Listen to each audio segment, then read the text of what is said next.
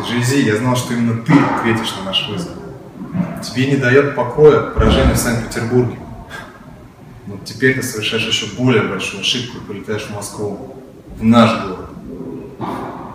Мы будем драться перед нашими фанатами, на нашем ринге.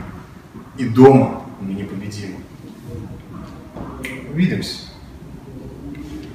Диджей Z, твоя самая большая ошибка в том, что...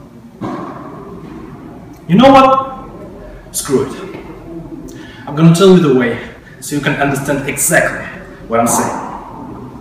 On your quote-unquote promo, you screwed up the date for the biggest event in the history of Russian professional wrestling. So now, you now I'm really pissed off. Now you disrespectful moron. You're gonna get yours. You think this is some kind of joke, right? You think you can come here, relax a little bit, uh, beat someone up, and then for the rest of the night swing your veils or something? You better think again. Because when you come here, we're gonna destroy you. All you have to do is to pick a partner.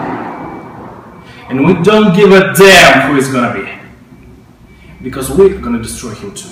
And then, then, we're gonna take all your little records, all your precious vinyls, and we're gonna shove them up your ass. And that is how your glorious return to Moscow is gonna look like. Па-па-па-пау, bitch. Что он меня взбесил?